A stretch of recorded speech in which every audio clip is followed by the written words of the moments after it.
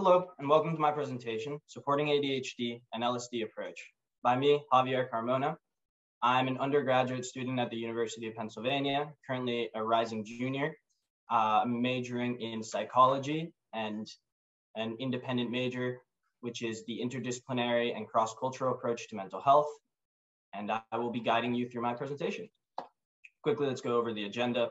Uh, we'll start off with an introduction to ADHD, then go into pain in ADHD, rejection sensitivity dysphoria, the state of pharma, and then the battle between conventional pharma and psychedelic pharma. Quick disclaimer, I am an undergraduate student. I am by no means a medical professional and offer this presentation as a point of intrigue, not as a recommendation. This is not medical advice. Let's start off with ADHD. ADHD is a disorder with really high prevalence, but also a lot of uncertainty around its prevalence. It's estimated to be between 5 to 27% of the worldwide population. Why is it such a big difference? We don't really know, but some of that could be from the disagreement behind the understanding of ADHD and what it actually means. Right now, we understand ADHD through the DSM 5, the DSM-5 focuses on the, the symptoms such as poor attention, distractibility, and other symptoms that can make people a general nuisance in social situations and particularly classrooms.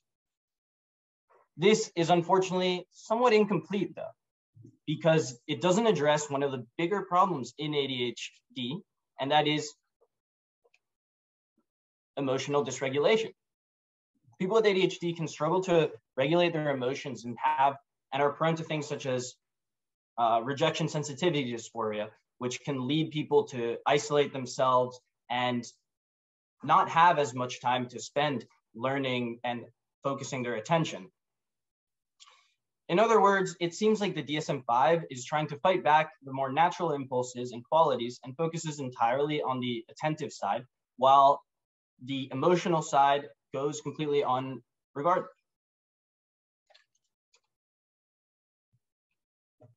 Another big part of ADHD is its comorbidities. ADHD is a disorder with tons of comorbidities, especially physiological and psychiatric comorbidities. There are around 80% of people with ADHD have a physiological comorbidity, most commonly chronic pain, fibromyalgia, and motor regulation disorders as well as psychiatric comorbidities such as depression, autism, and mood disorders. So what does this actually mean? Well, it means that people with ADHD have to struggle a lot more with things such as pain, with psychiatric disorders, and treating them is not only about treating the attention, but is also about treating these comorbidities and treating the executive dysfunction that comes with them. So let's talk about pain and ADHD. ADHD often comes with motor regulation uh, problems. This can lead to a heightened muscle tone, increased back, shoulder, and hip pain, and a lower pain threshold or an increased pain sensitivity. This often leads to chronic, uh, chronic comorbidity, chronic pain comorbidities, and an underdiagnosis in chronic pain patients. So what is this connection between chronic pain and ADHD?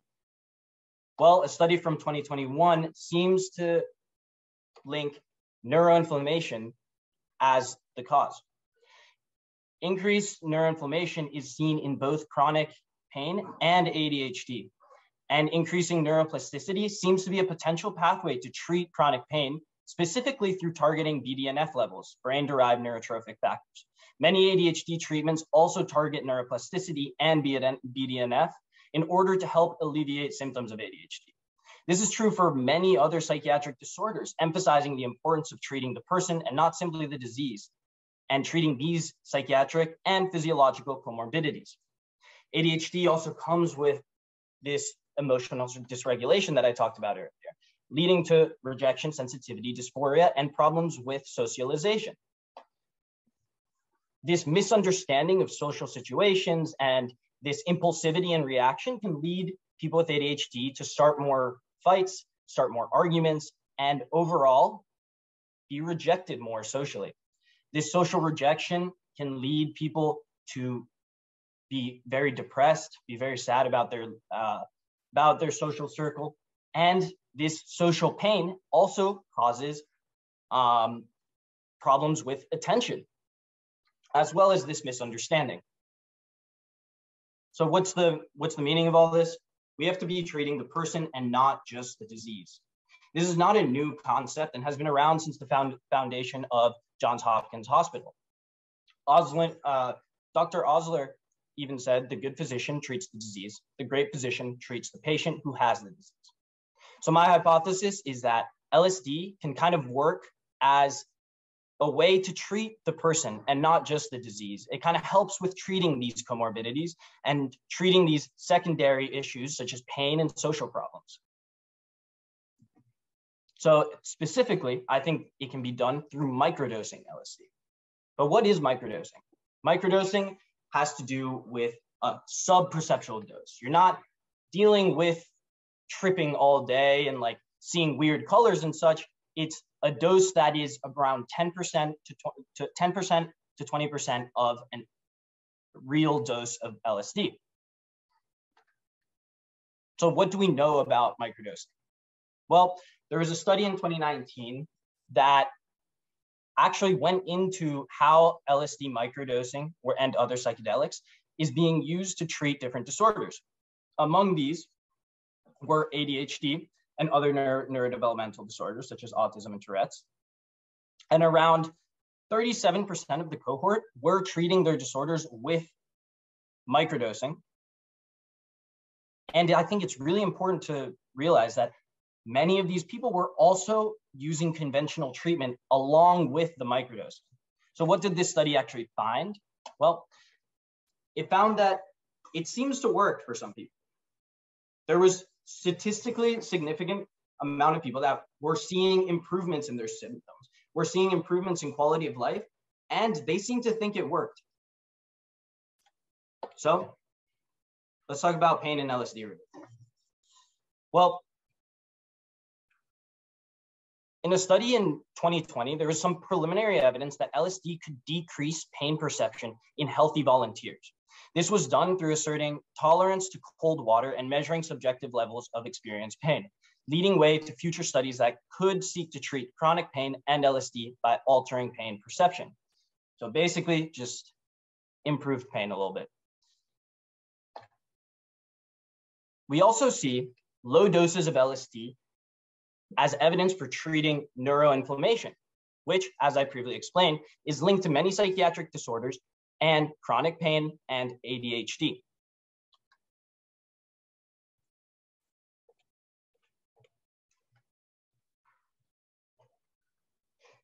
Uh, then in a study in 2021, there's some preliminary evidence that microdosing 20, 20 micrograms of LSD seems to affect BDNF factor levels in healthy volunteers, potentially pointing at increased neuroplasticity and pathways to help with ADHD and comorbid chronic pain.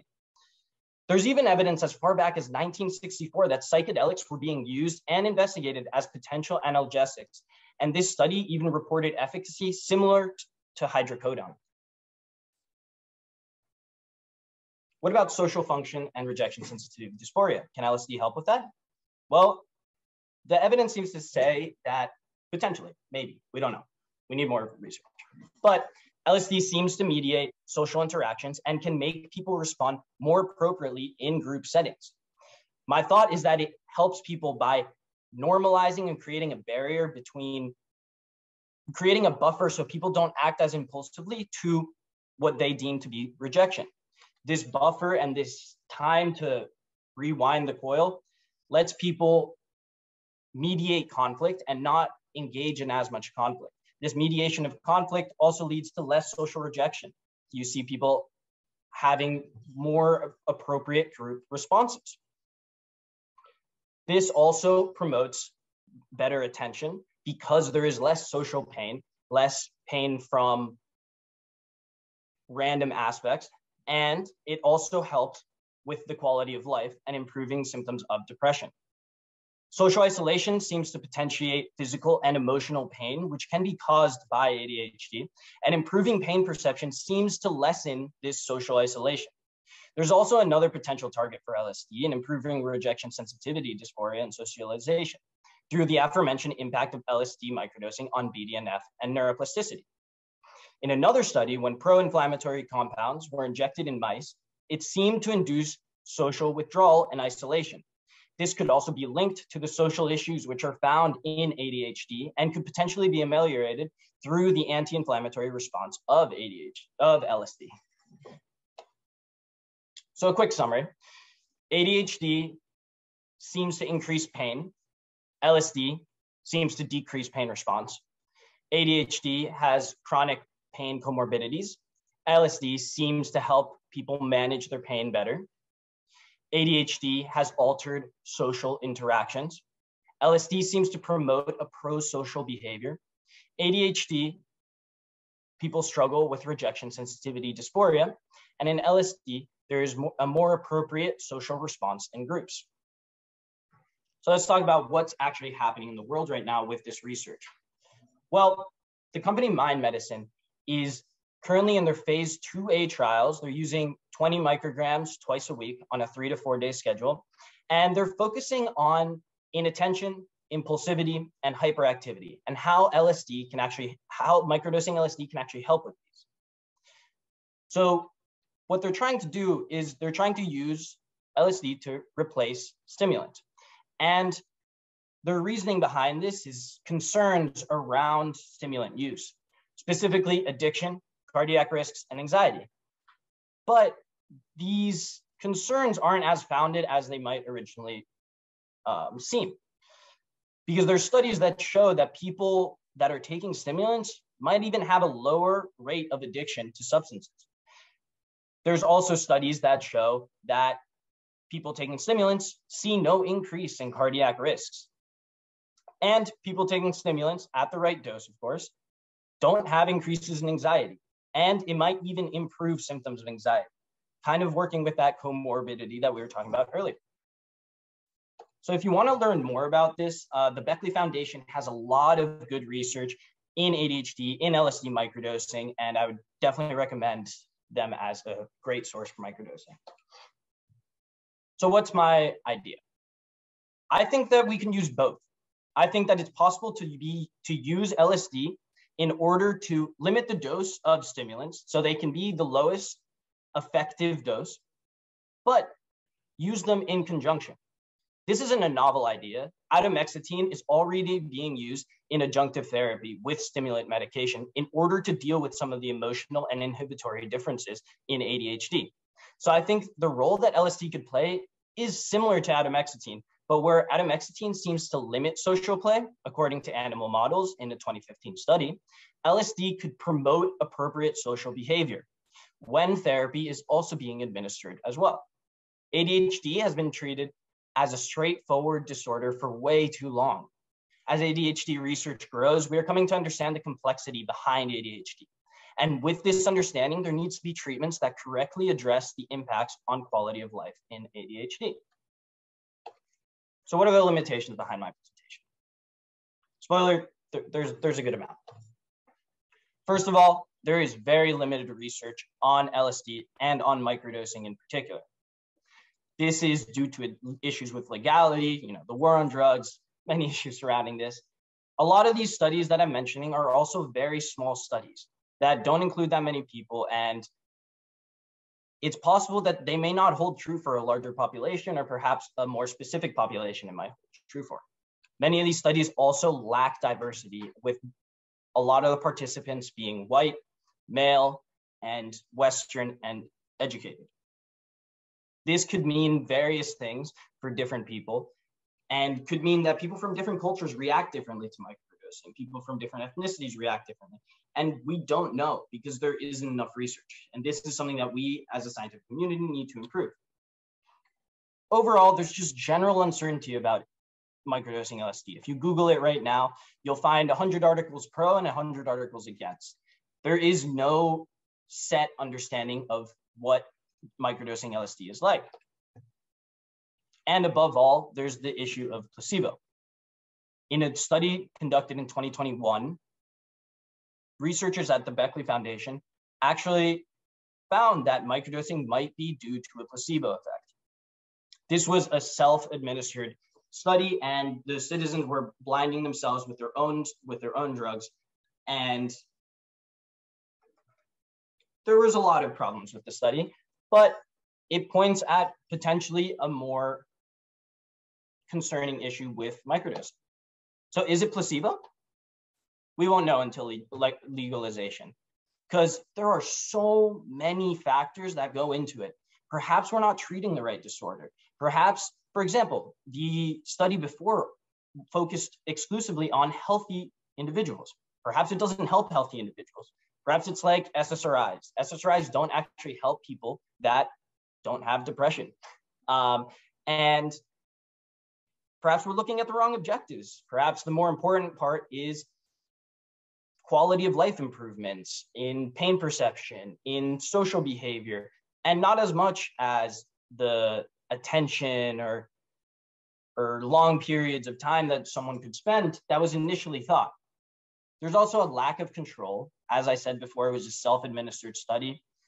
We also don't know about the impacts of therapy. Maybe therapy is that hidden key that we don't that we haven't acknowledged. Because that's kind of what happened in macrodosing research as well. We saw that once we added assisted therapy to a psychedelic experience, we saw huge improvements in outcomes.